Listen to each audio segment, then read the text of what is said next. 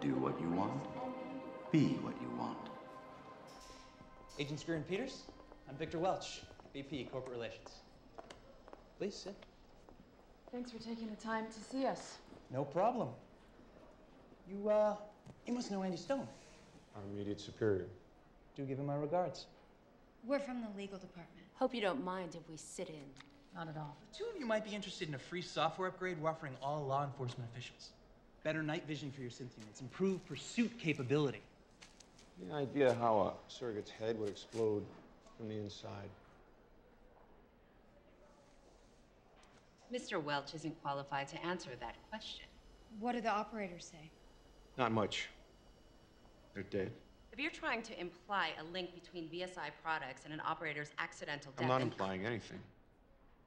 I just want to know how an operator can be killed by signals from a surrogate. The idea itself is absurd. If it were possible, it would defeat the entire purpose of surrogacy.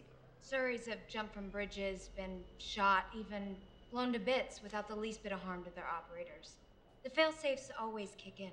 I can assure you, VSI's products have the most stringent safety standards in the industry. What about a human head?